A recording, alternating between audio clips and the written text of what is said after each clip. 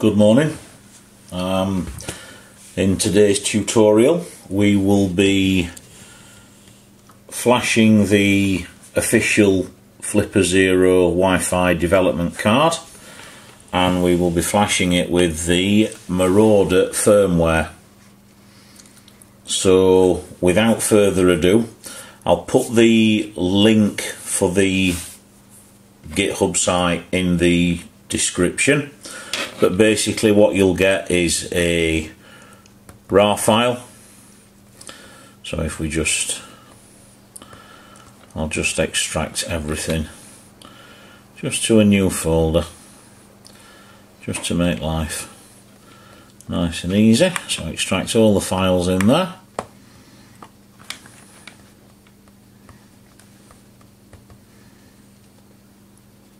Okay.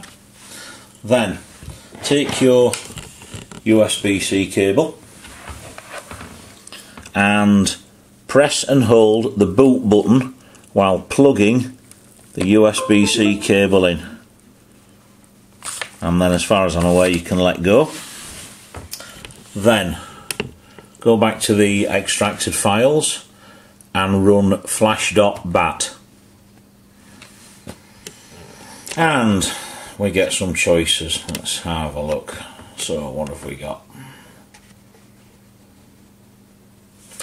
Flash Marauder, update Marauder. Well, I have already done this, but I'll flash Marauder. So, we're going to go. Oh, well, sorry. Save Flipper Black Magic Wi Fi setting. The card comes with the Black Magic firmware, which is it's a bit dull. So, I'm going to flash the Marauder, but you can revert it back. So, number one press enter and then a lot of things start to happen and it's telling me it's erasing the flash and it's now writing the flash.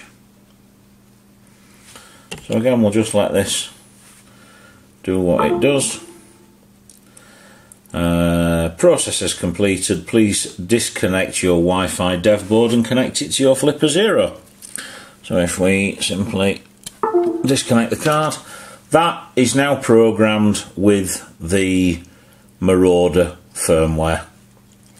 So that's how simple that is. So there we go. Thanks for watching.